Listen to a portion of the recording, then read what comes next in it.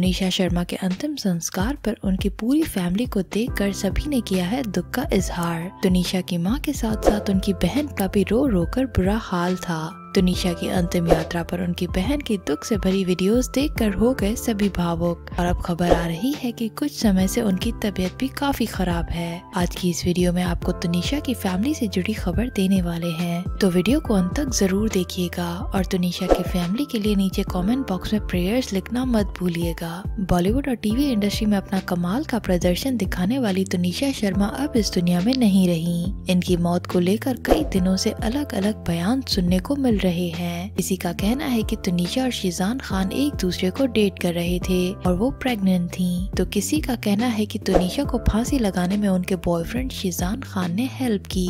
जब से तुनिशा ने सुसाइड की है, तब से शिजान खान को गिरफ़्तार किया गया है। लेकिन अभी तक उन पर किसी भी किस्म का आरोप साबित नहीं हो सका। लेकिन तुनिशा की माँ का कहना है कि उनकी बेटी की मौत के पीछे शिजान खान का ही हाथ है, क्योंकि वो हर वक्त शिजान खान से डरी रहती थी। वहीं ये भी कहा जा रहा है ये सुसाइड नहीं बल्कि मर्डर है और तुनिशा और सुशांत सिंह राजपूत के केस को भी मिलाया जा रहा है, क्योंकि इन दोनों स्टार्स की मौत बॉलीवुड की मिस्टीरियस डेथ्स में शामिल हो चुकी है। तुनिशा की अंतिम यात्रा पर उनकी बहन फूट फूट कर रोती हुई दिखाई दी और वे अपनी बहन के लिए हर किसी से इंसाफ की मांग कर रही थी। उन्होंने अपने बयान में कहा है कि तुनिशा ने सुसाइड नहीं किया, उसका मर्डर हुआ है और पुलिस इस मामले की सही से जाँच पड़ताल नहीं कर रही।